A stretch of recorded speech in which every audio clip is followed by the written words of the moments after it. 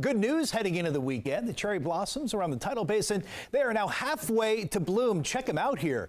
The National Park Service says they have now reached stage three of six today. So they predict peak bloom to start March 23rd, which is two weeks from tomorrow.